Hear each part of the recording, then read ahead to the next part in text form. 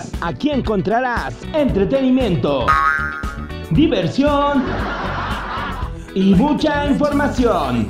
Apúntele bien. Comenzamos.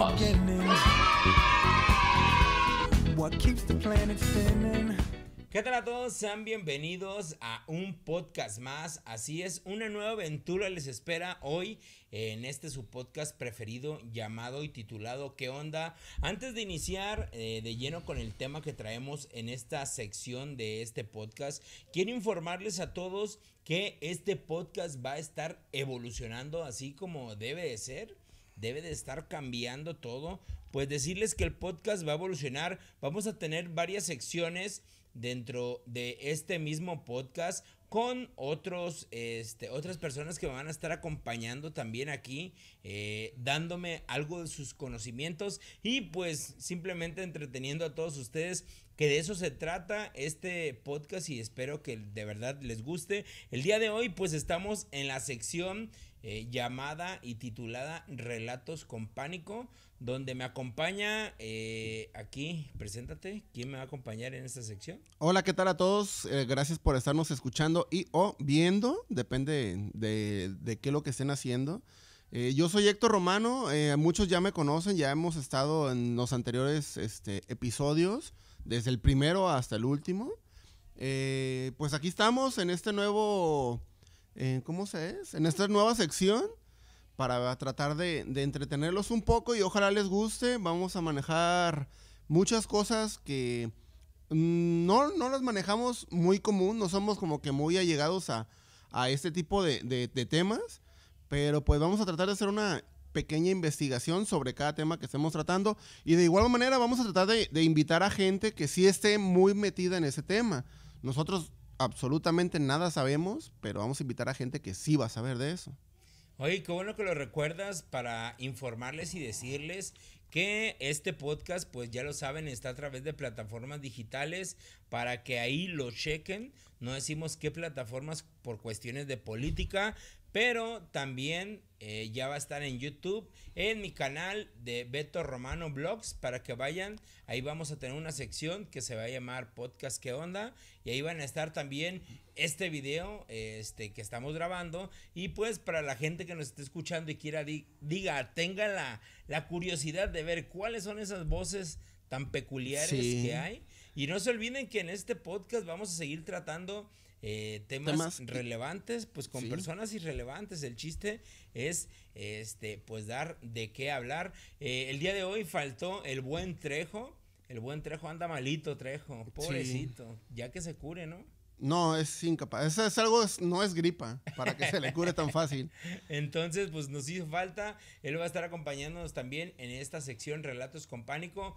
Y pues el día de hoy, ya entrando en materia, entrando eh, en el título, ya lo pudieron ver, el título de este podcast, de este episodio, pues es nada más y nada menos que algo eh, que a través de la historia de la humanidad, pues se ha venido dando de cierta manera eh, muchas personas eh, en diferentes partes del mundo han formado parte de eh, sociedades secretas. O la han formado, o, han iniciado. han, conformado estas sociedades secretas a través del mundo con temas, personajes, situaciones que de verdad muy pocos conocen y ese es el tema del día de hoy.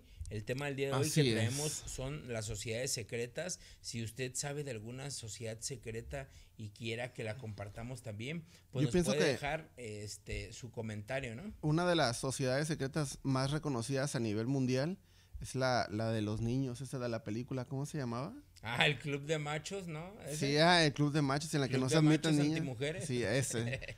Yo pienso que ese es uno de los más, más conocidos a nivel mundial, este, fuera de lo de lo, ¿cómo de lo común, se pudiera decir. Sí, pues algo así, algo así. Y pues bueno, vamos a arrancar con el tema. Este, vamos a empezar a hablar de, una sociedad secreta eh, que no tiene, ahora sí que mucho que se conformó, pero a través del tiempo y más que nada dentro de la religión católica ha dado mucho de qué hablar. Y pues es el Opus Dei Eh, el Opus Dei significa en latín la obra de Dios y pues es una sociedad secreta que se encuentra dentro de la Iglesia Católica.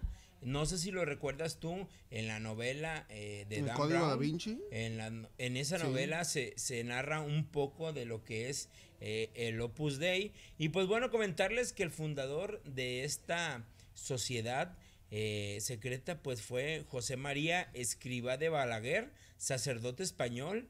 Y pues esta secta eh, se dice de alguna manera que está conformada con las personas más influyentes dentro de la Iglesia Católica. Eh, Papas Dice que tuvo, tuvo relación en su momento esta con el franquismo y las dictaduras de América Latina. Entonces, estamos hablando que fue, este, ahora sí que, que una eh, secta, por llamarla de alguna manera, que se encargaba este, de influir en las personas durante ese tiempo, cuando el cristianismo, este, el catolicismo Sí, sí, estaba, o sea, en su máximo esplendor.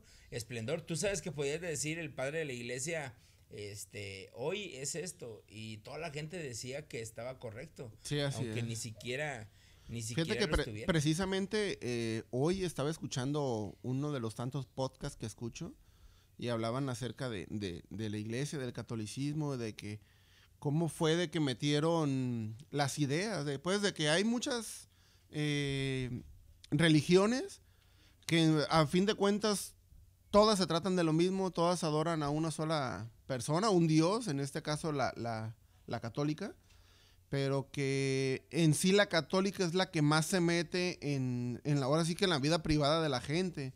Es la que más este, reglas tiene de que sí debes de hacer esto, no debes de hacer esto y cosas así. Y hay otras religiones que no son tan, tan, tan así, pues.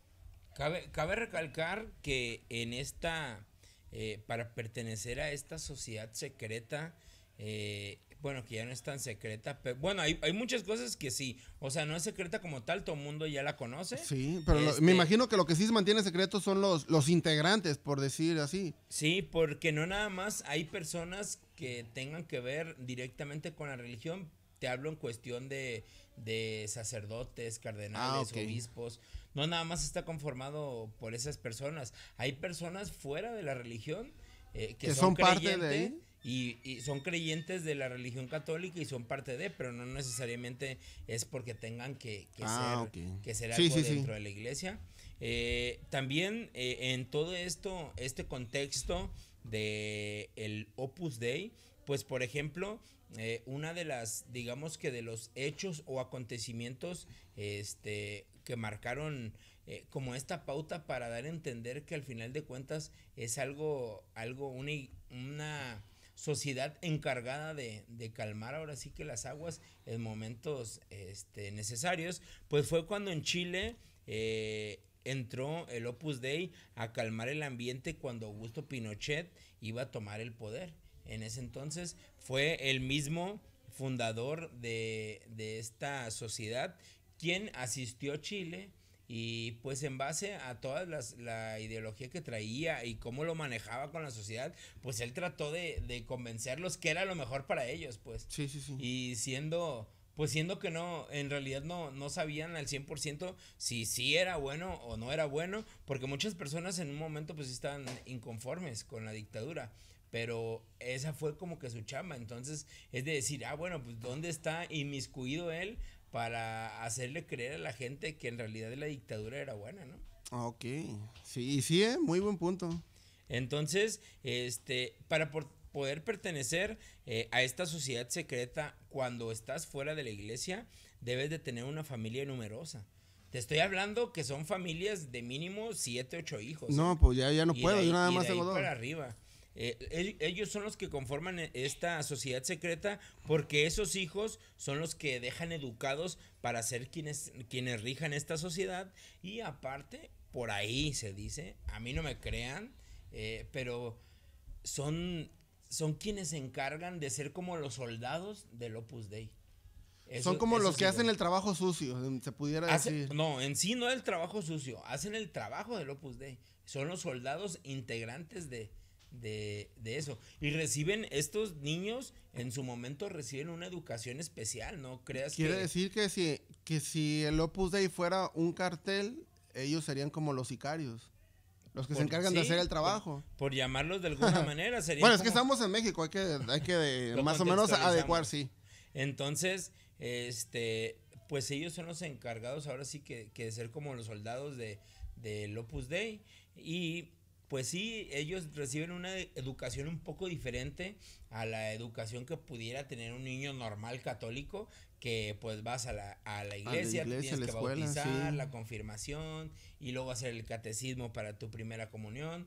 Eh, esos niños, es, esos que pertenecen, que tienen familias perteneciendo al Opus Dei, pues reciben otro tipo de educación más eh, encaminada, yo me imagino, más en lo espiritual, en lo, en lo particular de, la religión, pero para que ellos sean quien lleven las, las palabras o lo que quiere llevar el Opus Dei.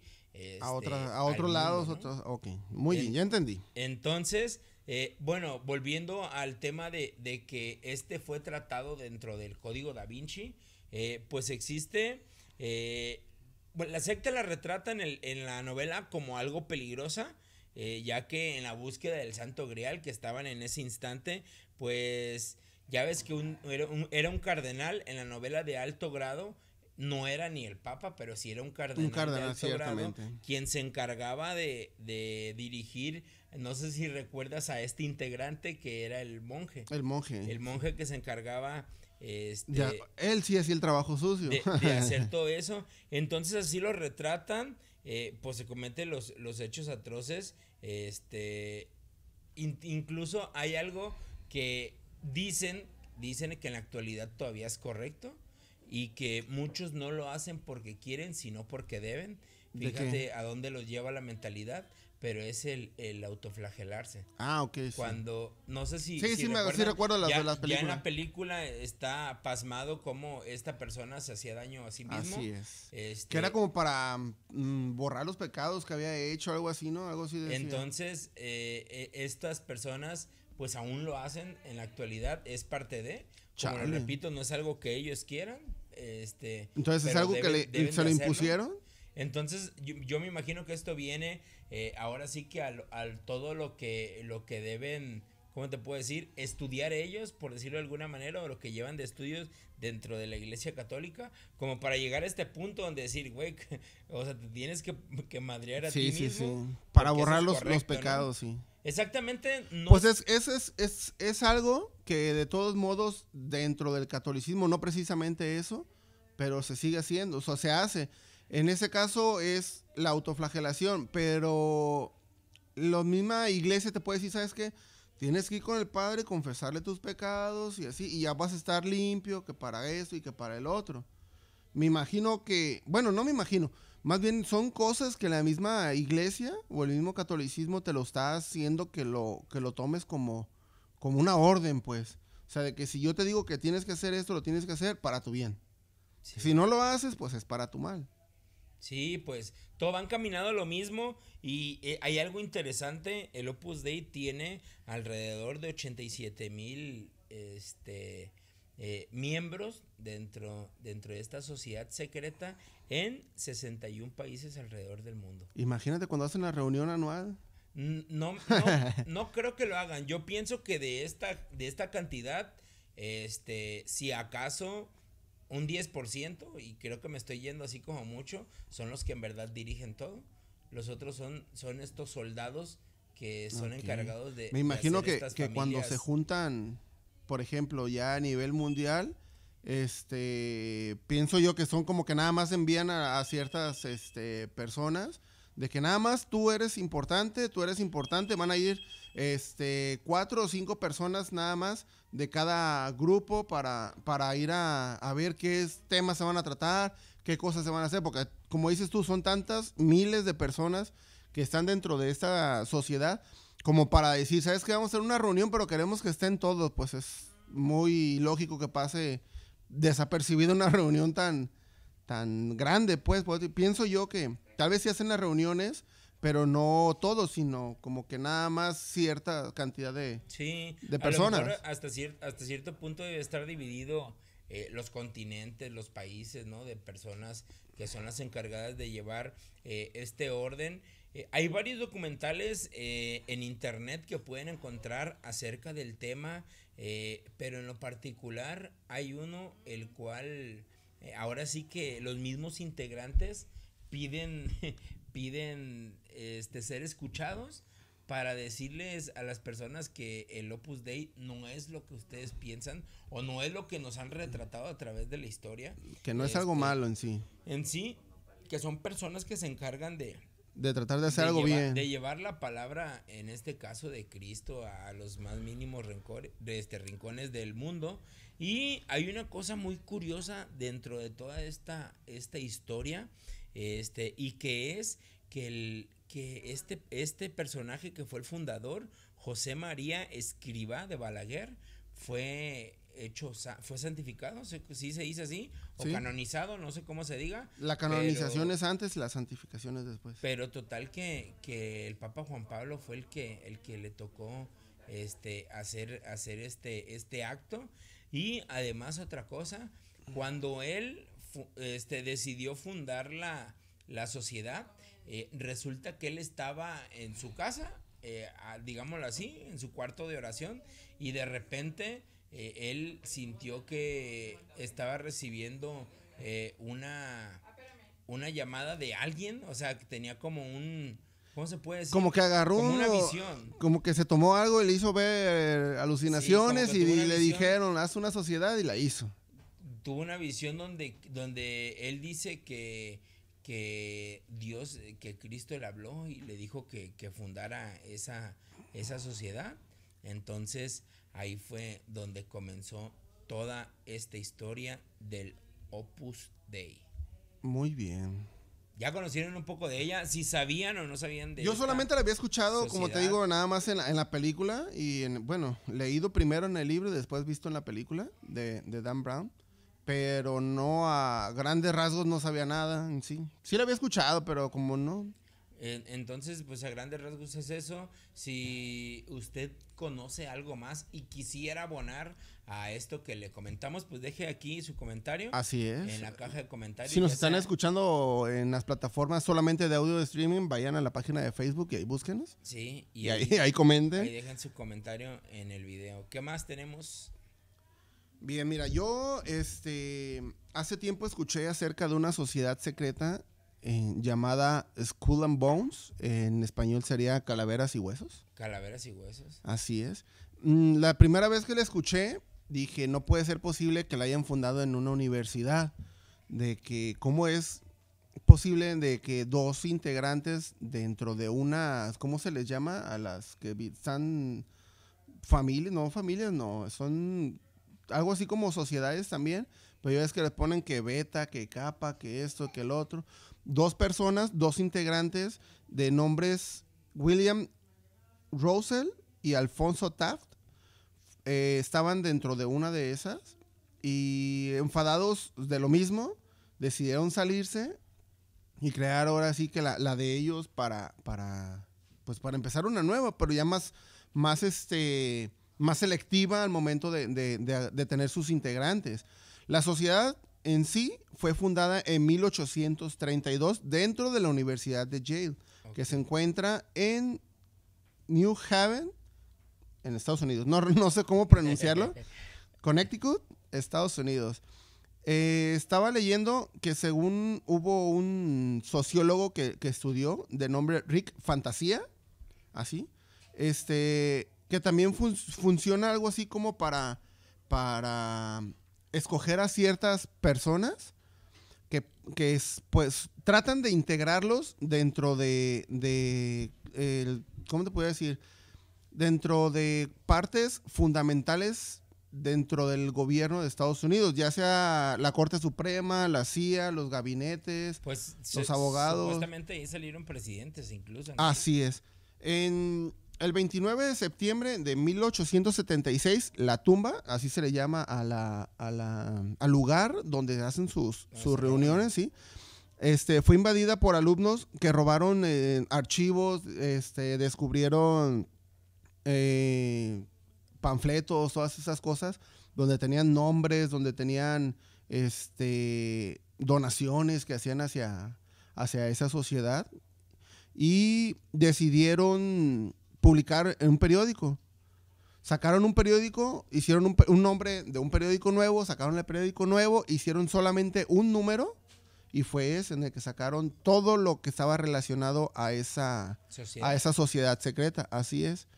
Y este, esos alumnos que robaron eso, que se entraron a eso, eran alumnos que querían pertenecer a la sociedad, pero no, pod- no podían en el caso porque no tenían como que muy buenas calificaciones o no le veían futuro o no venían de una familia este, ya acomodada pues en, en- en la sociedad y por eso no, O no podían lo- entrar. Lo rechazaban. pues, Así ¿no? es. Y por no hacer eso, por hacer eso, por, por no poder entrar, pues, sacaron el, el periódico y hicieron eso, donde venían nombres y todo eso. Dentro de estas figuras que han formado parte de, de la sociedad de Skull and Bones, ha habido familias este, muy adineradas de Estados Unidos. Ha habido presidentes, este, en este caso, Expresidente. bueno, expresidentes de Estados Unidos, como lo fue George Bush, George W. Bush, y su padre, que fue también, este, ¿dónde está? George, George Bush. George, bueno, es que tiene otro nombre, pero no recuerdo que también es George Bush padre, pues, en ese caso. William Howard Taft, que también fue un expresidente, y este, jueces de la Suprema Corte, eh, hombres de negocios, senadores como John Kerry, el cual este, quiso ser presidente de Estados Unidos en el 2004, y que como no llegó a ser tal, tal- a, a tanto, fue el secretario de Estado durante la administración de Barack Obama. O sea, ahí te das cuenta de que eh, integrantes de esta sociedad no, no los escogen como que al azar. O sea, tienen que ser este, selectivos, más bien es selectiva la sociedad al momento de escogerlos.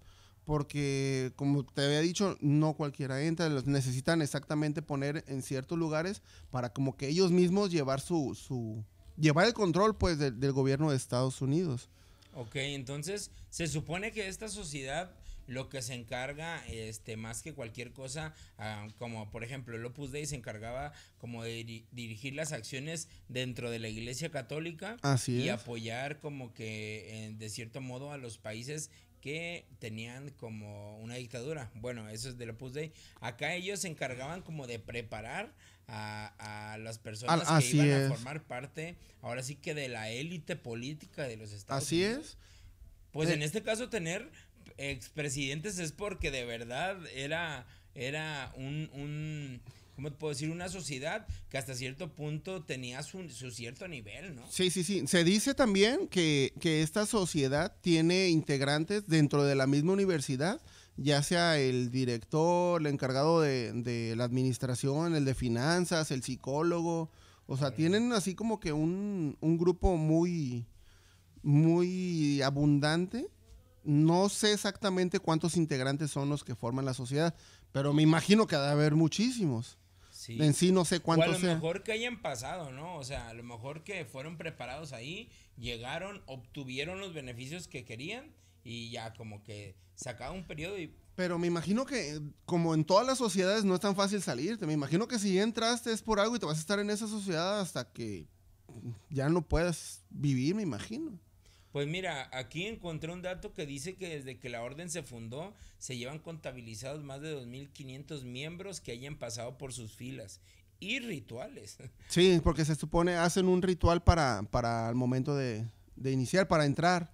Ya que los escogen, se los llevan a, a la tumba esa que, le- que les comentaba, que es este la- como el lugar recinto. donde hacen sus reuniones.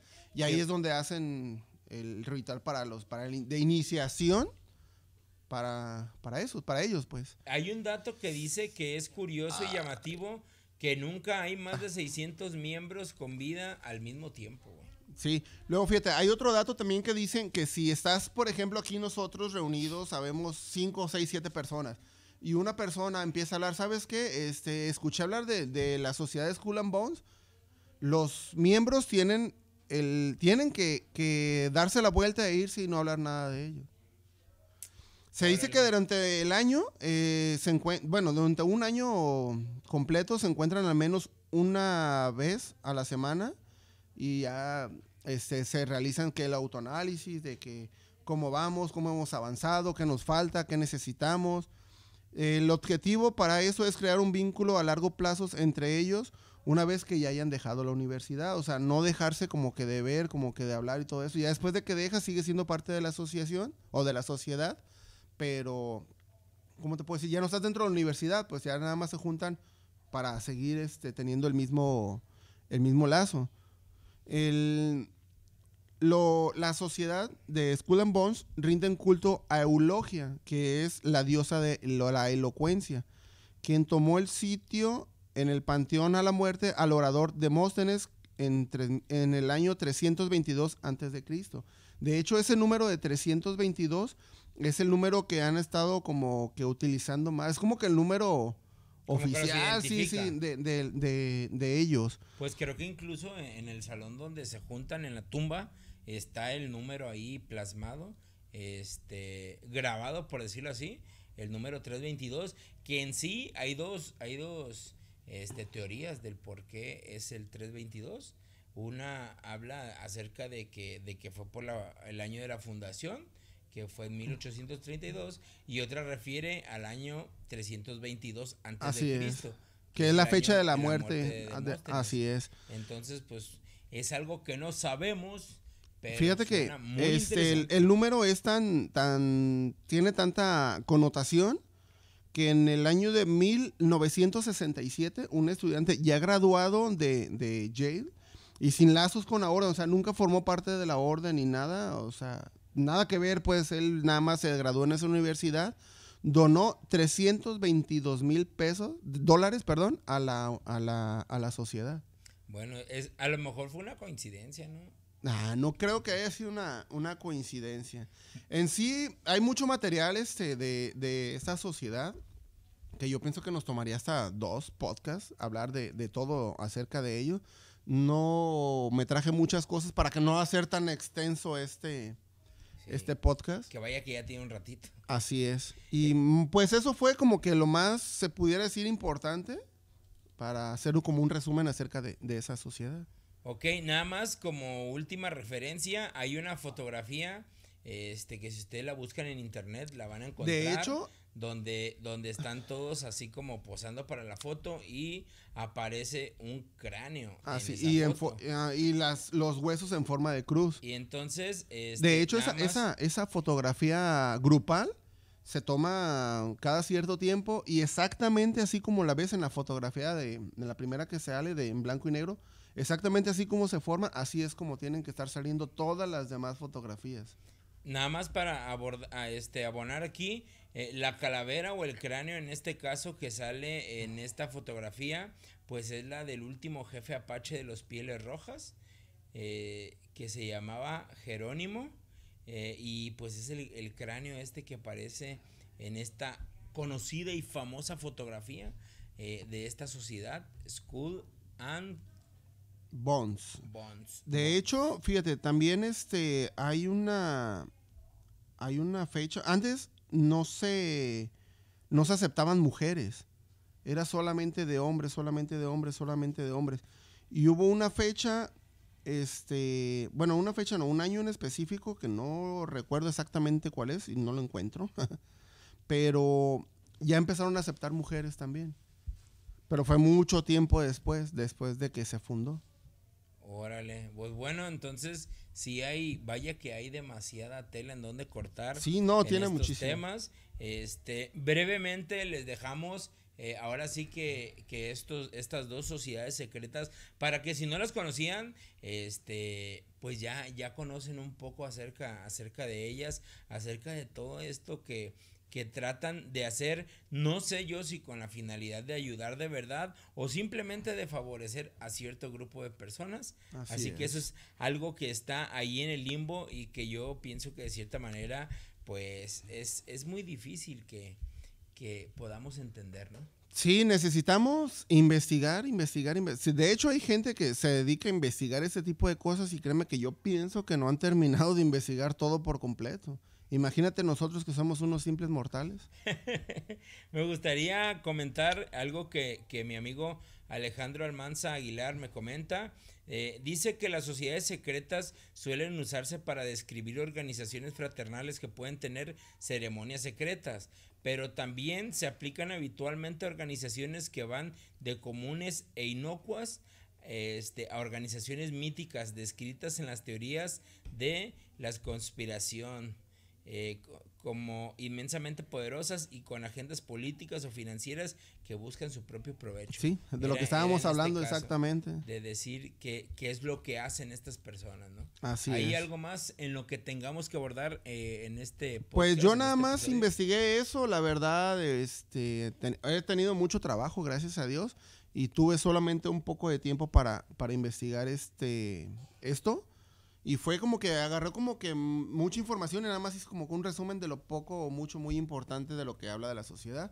Pero igual en otro momento hacemos otra segunda parte, así como sacamos dos partes de teorías conspirativas, podemos sacar dos partes de, sociedades, secretas. Exactamente, ahora con, con, tal vez con otros, con otros nombres. Así es. de, alguna, algo, otras sociedades no muy conocidas, así es. Pues bueno, nada más para anexar en este podcast, síganos a través de redes sociales eh, con el nombre de qué guion onda, nuestra página en Facebook, en el canal de YouTube, a través de mi canal, Beto Romano V, por aquí va a aparecer abajo.